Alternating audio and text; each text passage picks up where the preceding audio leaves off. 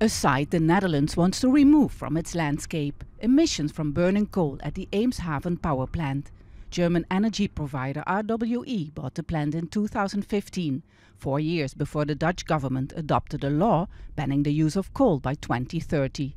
The company's 1.4 billion euro claim at an international arbitration court in Washington has shocked Dutch lawmakers. Uh, they already receive hundreds of millions subsidy for, for the biomass uh, uh, use. So uh, yeah, that's why I think it's a shameless uh, attempt of this company. And the fact that uh, yeah, the Netherlands is way behind in, in reducing the emission of carbon, then the whole society has to take painful steps.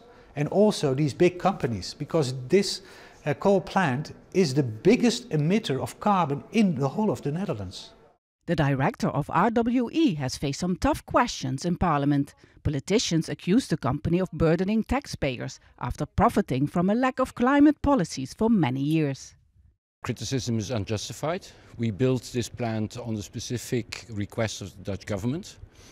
And uh, after we built, only after we built the plant, the Dutch government to change its mind, decided to change its mind. But it was 2015 and it was already clear that coal would be uh, a problem, right? No, uh, only the first time the parliament voted to look for closure possibilities of coal was after the opening of the power plant. RWE is not the only European company that has used the controversial Energy Charter Treaty to claim large sums of compensation or hold European energy transition projects altogether.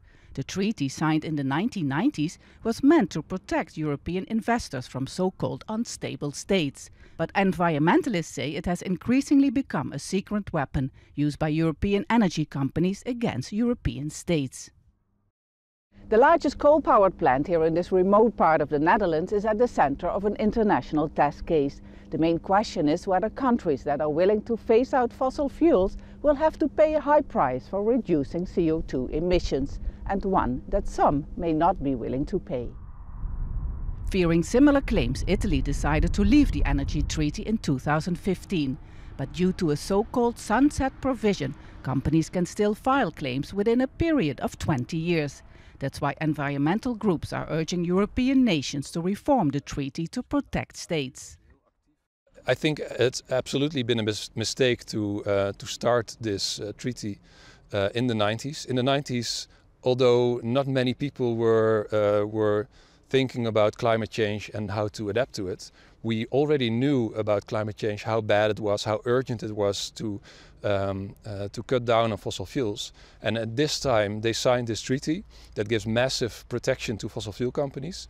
Uh, so they could have known then that it was a problem and that it would, that it would be a big risk. RWE says if it wins the case, it wants to invest compensation money into its renewable energy projects. But the company's legal steps are not convincing those who have been fighting for clean energy in the Netherlands that the energy company is on their side. Step Vaessen, Al Jazeera, Eemshaven, Groningen.